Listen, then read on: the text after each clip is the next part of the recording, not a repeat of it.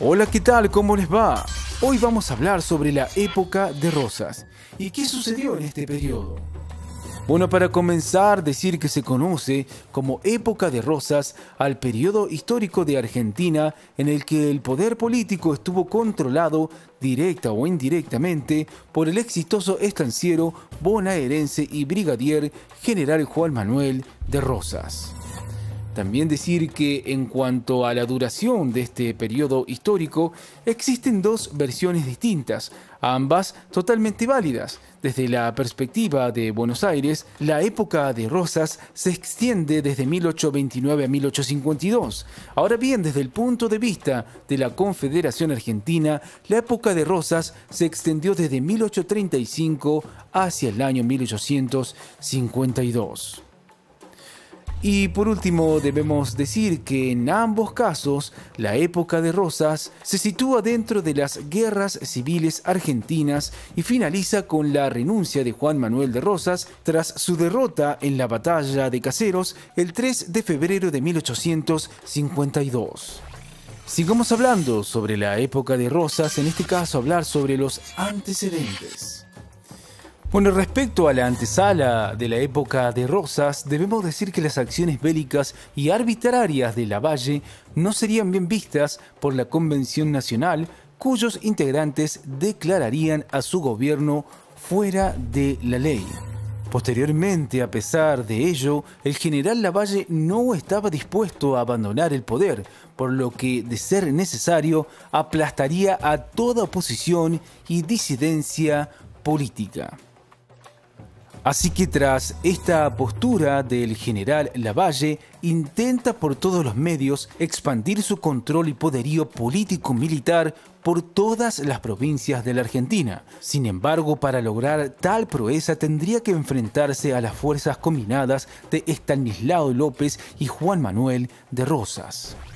Pero sigamos con los antecedentes porque hay más datos que debemos mencionar porque posteriormente, el primero de diciembre de 1829, tras la ruptura del Pacto de Cañuelas y la firma del nuevo tratado, el Pacto de Barracas, Juan José Viamonte, gobernador interino de Buenos Aires, convoca a reunión a la sala de rep y es en este momento que sería pues en aquellas reuniones que Juan Manuel de Rosas resultaría electo como gobernador titular de las provincias de Buenos Aires, al mismo tiempo que su gobierno era investido con facultades excepcionales. Esto último daría inicio a la época de Rosas. Sigamos hablando un poco más sobre la época de Rosas, en este caso hablar sobre las características políticas. Entre ellas debemos mencionar que su principal protagonista fue Juan Manuel de Rosas, que concentra el poder político de la Argentina en su provincia natal, es decir, Buenos Aires. Desde allí se dedica a controlar el resto de las provincias argentinas mediante el flujo de comercio exterior y su política aduanera. Y también mencionar que todo intento de revolución en contra de la hegemonía bonaerense fue rechazado categóricamente, incluso si el mismo tuviese como finalidad plantear una reorganización social y política de la Argentina, algo a todas luces necesario para el país. Pero continuemos con estas características políticas porque hay más que debemos mencionar.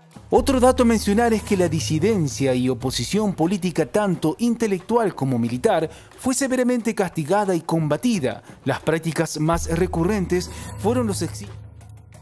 Y también decir que el color azul característico del Partido Unitario es reemplazado por símbolos de color rojo propio del Partido Federal.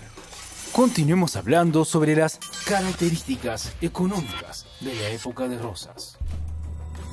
Bueno, mencionar que en materia económica, Argentina en aquellos entonces, Confederación Argentina, comienza a erigirse como un país agroexportador. En consecuencia, los estancieros y terratenientes se ven enormemente beneficiados por la política económica rosista, pero no todas las provincias, sino especialmente la provincia de Buenos Aires. Continuemos hablando un poco más sobre la época de Rosas, en este caso hablar sobre sus consecuencias.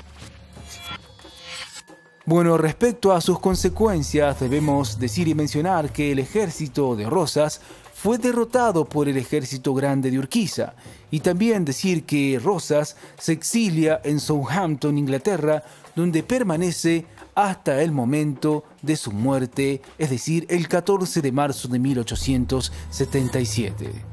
También decir que justo José de Urquiza asume el manejo de las relaciones exteriores de la Confederación Argentina y pone en marcha un proyecto de organización nacional mediante la reunión de un Congreso Constituyente. Posteriormente, mencionar que muchos argentinos que habían permanecido exiliados en Montevideo y otras ciudades vecinas a la Argentina deciden regresar a su patria tras enterarse que la hegemonía de Rosas había llegado a su fin. Pero continuemos con estas consecuencias de este periodo porque hay más datos que debemos mencionar. También mencionar que la provincia de Buenos Aires se separa de la Confederación Argentina y se organiza como un Estado independiente bajo el nombre de Estado de Buenos Aires. Pero esto no quedaría así, ya que este estado, en parte semidependiente, existió entre los años 1852 y 1861, siendo anexado nuevamente a la Confederación Argentina tras la victoria de Bartolomé Mitre en la batalla de Pavón el 17 de septiembre de 1861. Bueno, esto es todo por hoy y como siempre les decimos, chequeen los videos de nuestro canal que seguramente les serán de utilidad. ¡Hasta la próxima!